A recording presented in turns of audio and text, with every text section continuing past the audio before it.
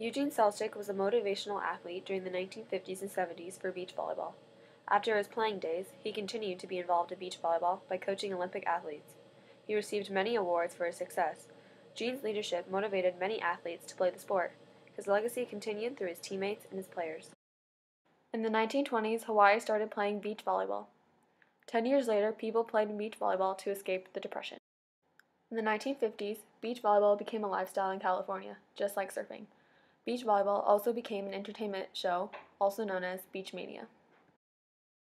The first two man beach volleyball tournament was held at State Beach, California in 1947. There was no prize money. A year later, the first prize was Pepsi. Circuit tournament play began in California. The California Beach Volleyball Association was also formed. The idea of a professional league formed, but the league failed to be started.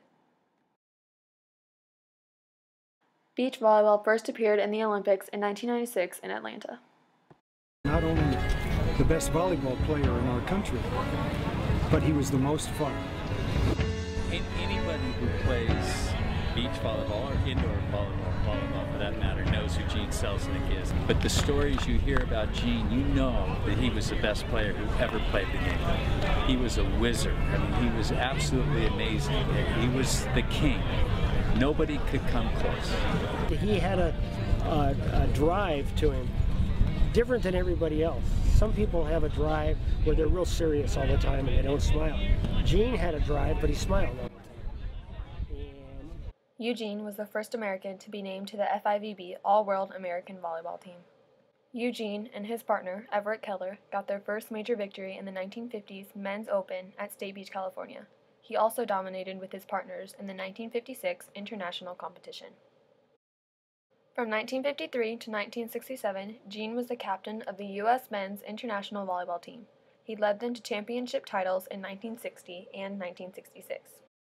In 1956, Gene was awarded with the International All-Star Team MVP honor. Eugene led the gold medal winning 1963 U.S. Women's Pan American Games team to the 1964 Olympics. He also coached the men's volleyball team in the 1996 Olympics. After winning several tournaments, such as the Men's Open in 1950 and an international competition, he retired from playing and coached Holly McPeak and Misty May-Treanor in the 2000 Olympics.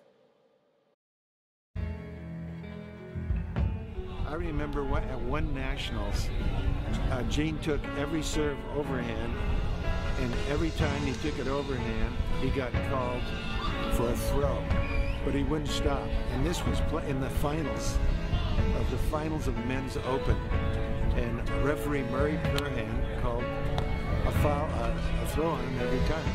But he was taking it cleanly. He was trying to prove that you can receive a ball overhand cleanly and uh, he was a stubborn man. And, uh, but he had a point to make, and he did his best to do that. Beach volleyball during the 1960s changed into a well-organized competitive sport.